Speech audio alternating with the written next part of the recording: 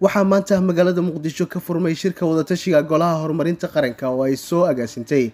Wasaaradda qorsheynta iyo maalgashiga xukuumadda federaalk ee soomaaliya. Shirkan ayaa waxaa ka soo qayb galay wasiirada qorsheynta maamul goboleedyada agaasimayaal madaxda wasaaradda qorsheynta xukuumadda federaalk ee soomaaliya iyo shaqaalaha wasaaradda. Kulanka ayaa xoogga lagu saaray qorshayaashii hirgalay ee wasaaradda iyo kuwa maamul goboleedyada waxyaabaha aan hirgelin iyo qorshaha sanadka soo aadan waxaa xoogga la saaray hirgelinta qorshayaasha laga maarmaanka u ah dowladnimada soomaaliya.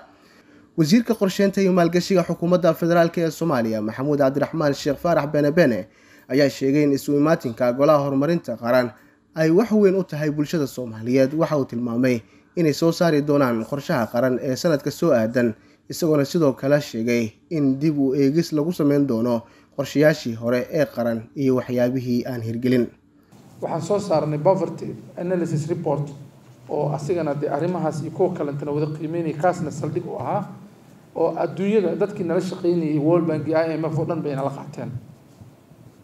Soo marka markii mashruucan qorshahan la bilaabayay iyo maanta way kala duwan tahay. Marka maanta halbeega oo meesha noo yaalla waa kaas.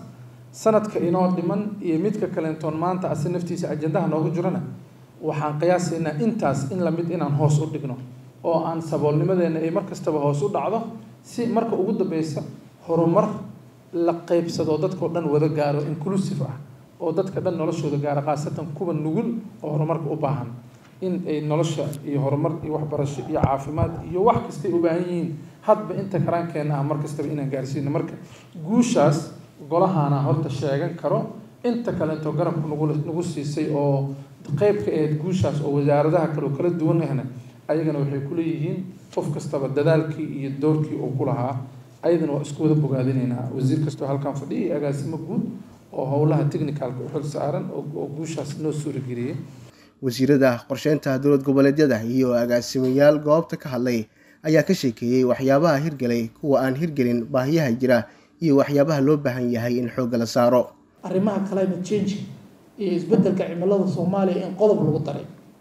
Qiimeynta marka soomaaliya la qiimeynayo wax la siinayo waxay ku lagu beesgarayn doonaa financingkaas hadday noqoto climate change-ka horumarka laga gaaray national development plan oo la rabo wasaaradda qorsheyntu inay ku faano oo mar walba wasaaraddan muhiimadda iyo mudgaha ay u leedahay horumarka soomaaliya in laga fikiro.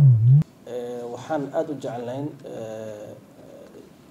kii sagaalaad wuxuu focuska saarayay shan bilar oo shan tiir oo aada muhiim u ahaa tiirka oo mudnaanta gaarkaa la siinayo wuxuu ahaa yareynta saboolnimada.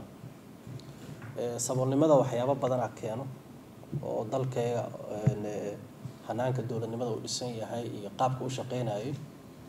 Laakiin waxyaabaha aada aan u danaynayna waxay ahayd aan ogaanay inay qeyb ka tahay saboolnimada infrastructure-ka oo xun.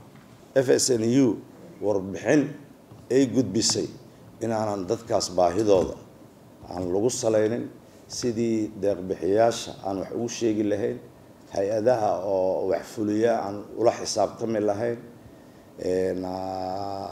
annaga isgarabsanayna wasaaradda qorsheyntana ay federaalkana muhiim noogu tahay.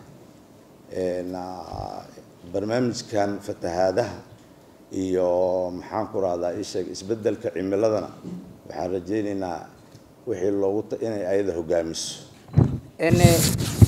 Marka waxaan ku faraxsannahay in maanta dowladda ay nagu jihayso in laga gudbo barnaamijyadii emergency-ga loona gudbo resilience iyo development.